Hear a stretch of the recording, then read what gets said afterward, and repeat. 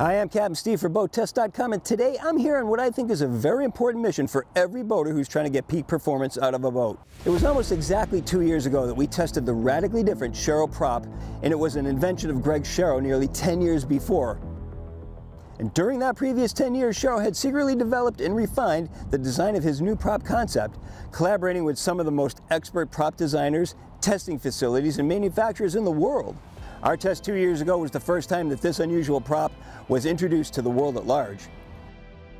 We took a Sharrow aluminum prop and put it on a single 150 horsepower Mercury outboard that powered a 20 foot bow rider that weighed 3,543 pounds. We then tested the boat with two other stainless steel conventional props so that we could compare the difference in performance among the three props. What we discovered was that this radical prop design was also revolutionary. We found that the Sharrow prop was faster in all RPM settings, planed at lower RPM, and had more thrust in reverse, stuck to the water in tight high-speed turns, and had significant improvement in miles per gallon at nearly every speed setting, particularly in the mid-range. But over the last two years, people have asked if this was just an anomaly. Some prop experts even said that every prop has its sweet spot application, and Sharrow just happened to find the boat best suited for its design. While the Sharrow props might be better on a small lightweight monohull with a 150 horsepower Mercury outboard, how would they do on a larger, heavier boat with a different hull shape and powered by twin 300 horsepower engines? To answer all these questions and more, Sharrow Marine asked Boat Test to once again test their props and compare them to the standard stainless steel wheels the engine maker recommends. This time, we're testing a 32-foot WorldCat catamaran instead of a monohull with two 300 horsepower Yamaha engines instead of a single 150 horsepower Mercury and a boat weighing 13,694 pounds, four times heavier than the one before, with four times the horsepower. The first props we're going to test on the Yamaha engines are the ones that come standard. Yamaha's Saltwater Series 2 3 blade 15 and 3 quarter inches by 15 props. So let's get aboard and find out how the Sharrow props stand up to a Yamaha top of the line prop. The most important data for any prop is its mid RPM range performance, so if you're only interested in top speed, we're saving that little goodie until the end. The average boat owner operates his boat about 60% of the time in the mid range, and for fishermen and anyone going far from the fuel docks, range is the most important data point. With the Yamaha Saltwater Series 2 prop, we found best cruise, which we define as planing speed with the greatest range, to be 4,000 RPM and 23.8 miles per hour. At that speed, we were burning 21.2 gallons per hour and getting 1.1 miles per gallon for a range of 282 statute miles.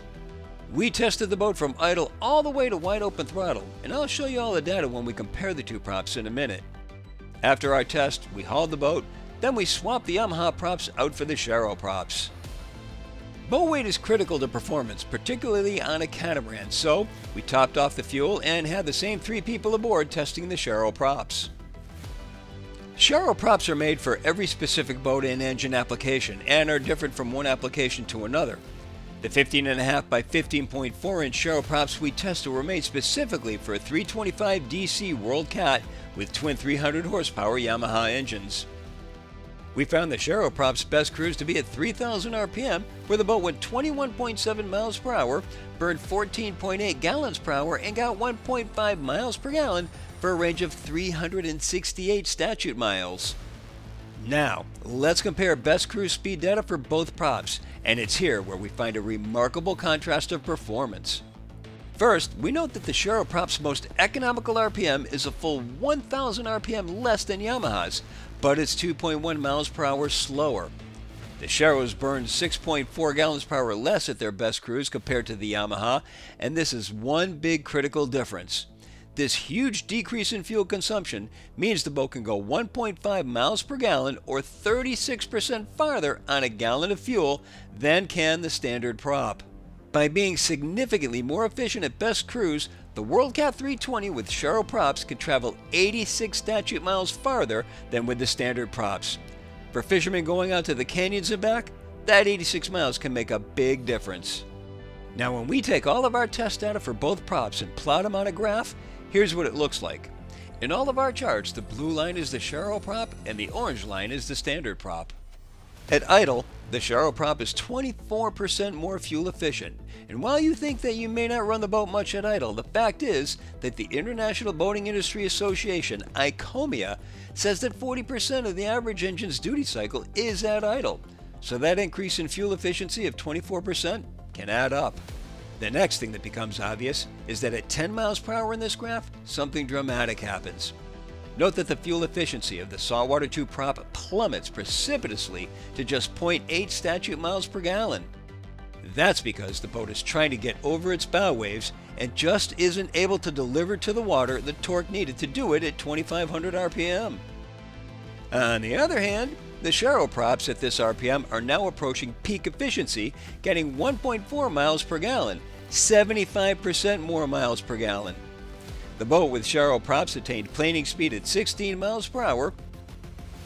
The Sharrow prop allows the boat to plane at a lower RPM, burning much less fuel. In the 20 to 25 mile range, the Sharrow props keep their 36% mile per gallon average, and it's not until over 30 miles per hour that the gap narrows. At 35 miles per hour, the efficiency of the two props is about the same, so boaters running the 325 DC World Cat at or near wide open throttle will get about the same miles per gallon with both props. Most boat buyers want to know what the top speed of a boat is, even though they almost never run the boat there. So let's start at wide open throttle with the Yamaha props. We reached a top speed of 41.6 miles per hour. Top speed of the boat with the Sharrow was 42 miles per hour at 5500 RPM or 0.4 miles per hour faster. When we compare top speed for both props, the difference is not much, but it's pretty impressive for a prop that also shellacs the standard prop in the mid-range of fuel efficiency. Historically, props have been designed to either be fuel efficient in the mid-range or fast, but not both, unless it's a conscious compromise.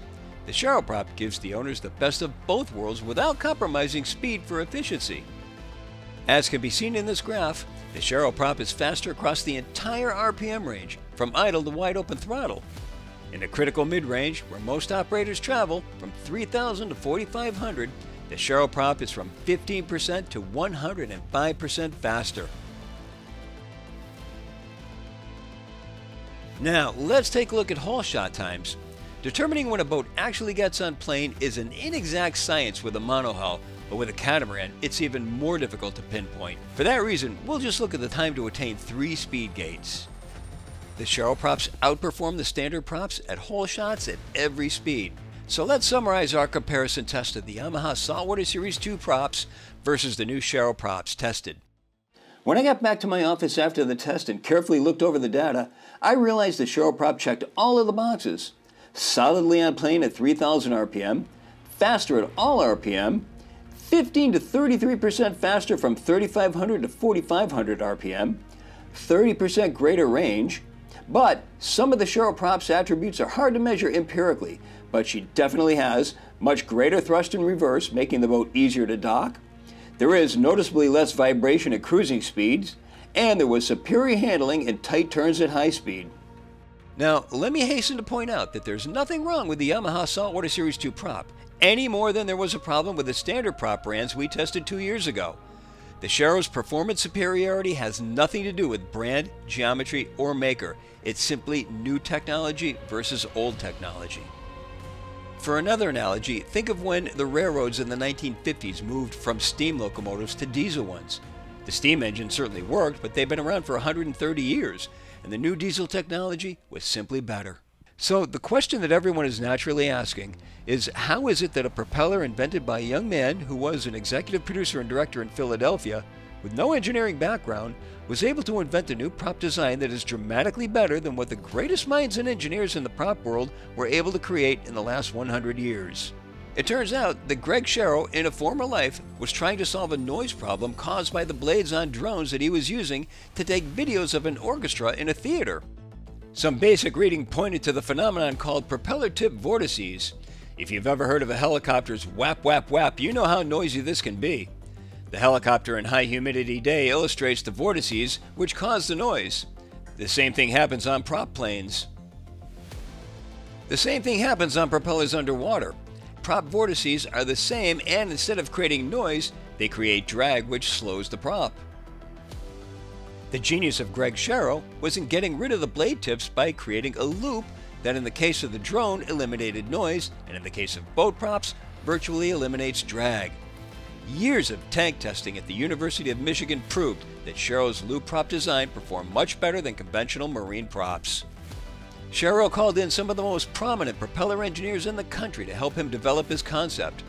Over the course of 10 years of development, these experts realized that the loop prop design had a second attribute that was even more important than eliminating the blade tip vortices, and that was its advance rate through the water was significantly better than conventional props. But that aspect of the Sharrow secret sauce will have to wait for our next Sharrow video, which will be coming soon. In the meantime, in case you're wondering, Greg Sharrow has found three different foundries to cast his props and says he's planning on making 10,000 props next year. Further, he tells us that the prop design we tested in this video is available specifically for Yamaha 300 horsepower engines. To find out more, go to sharrowmarine.com. For BoatTest.com, I'm Captain Steve. We'll see you on the water.